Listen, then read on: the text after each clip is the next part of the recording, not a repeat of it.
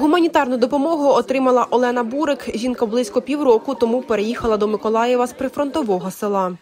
Тому що снаряд влучив в мій будинок, от, потрощила всю кришу, потрощили вікна. В общем, коротше, немає у мене хати, почти. От так, одна коробка залишилася. Олена про запас, односельчанка Олени Бурик з прифронтового села виїхала ще в березні разом з родиною. Тоді якраз був сильний обстріл. Якраз діти потрапили були під цей обстріл, коли по вікнах летіло всі осколки, все. І ми звідти з тих пір ми нічого не взяли. Сьогодні Олені повертатися вже нікуди. Її будинок зруйнований. 80% будинку немає. Є тільки дві стіни. Те, що залишилося. Стелі немає, криші немає, взагалі ні вікон, ні дверей, нічого немає.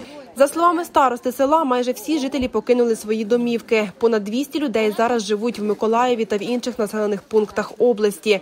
До повномасштабного вторгнення в селі проживало 1200 жителів. В селі залишилося нас тільки сім людей, які постійно там проживають. Всі інші виїхали.